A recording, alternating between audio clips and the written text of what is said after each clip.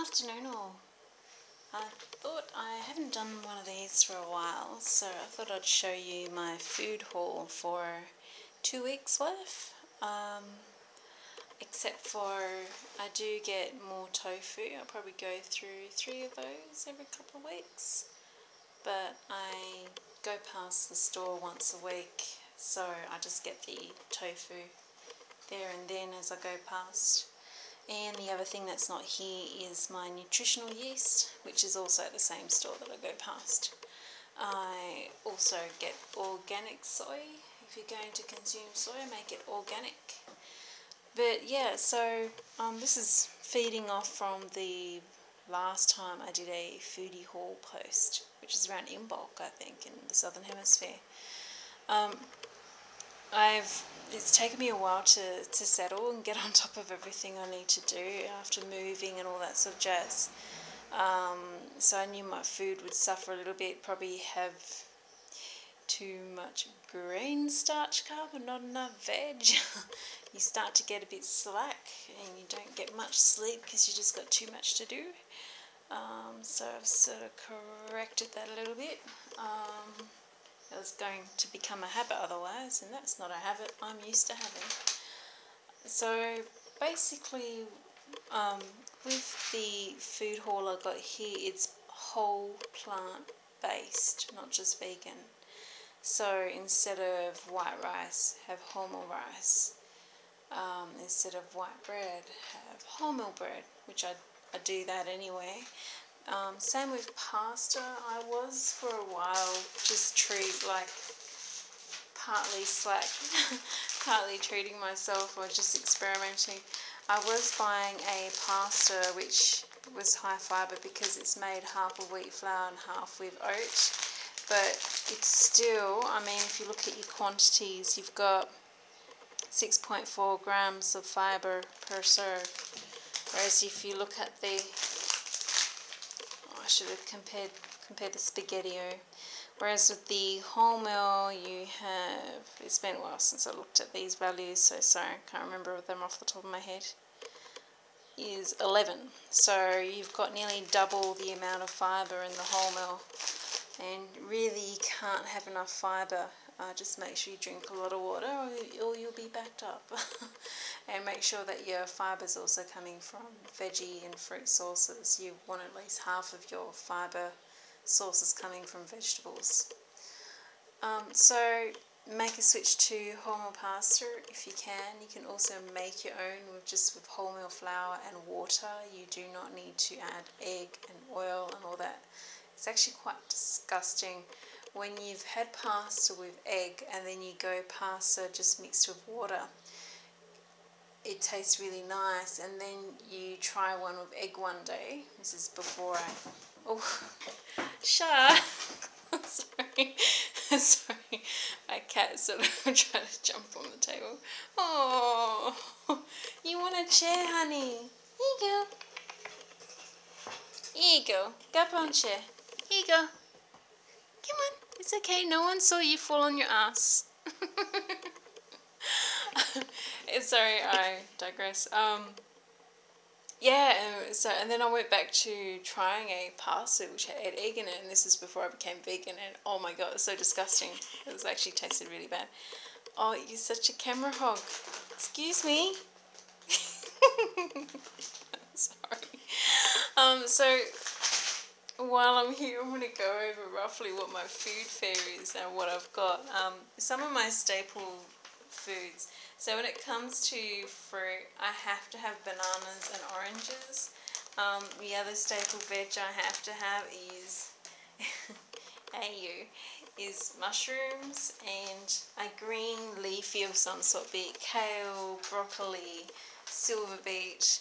Um, also herbs, all my herbs haven't really fully established yet, so I'm having to buy them, which I don't really like. Um, I like making pizza with eggplant and, and sweet potato slices and onion. And ginger is the other thing that I have as a staple. I like steaming it with my tofu and making a tofu burger with a big bowl of salad. That's usually my, my lunch fare. And the other thing I have is a avocado. I have half a small avocado a day and I blend it to make it into a creamy dressing and I use that on my salad. Um, another little interesting tip is, you know, especially for us people, okay, sure, I know, uh, for us who like long hair and healthy hair, is you always get the, the, the vitamin B called biotin rammed down your throat and like only eggs are good sources etc but just so you know one small onion has more biotin than an egg without the fat. And I would rather have a sauteed onion in water on a non-stick pan into my pasta sauce than an egg. I mean that's just awesome. One of these. So just throw, throw that tip in there. So the other thing I, I do have every day is pasta. Whether I make it fresh, I do have pasta every day with tomato puree or, um, or a sauce. Puree is more condensed. Um, I just make sure I get jars which don't have anything added to it, only salt, um, watch the sugar content. Sugar's not bad. It's not, it's not as bad as fat or animal protein sources. But, you know, if I'm going to have sugar, I want sugar. I don't want it hidden in my food. so my average daily fare is I love having toast in the morning with peanut butter. If I have to watch my fat intake because I'm manipulating my physique in some sort of way, I like using PB2, which doesn't have the fat. It's the powder that you mix into a peanut blend.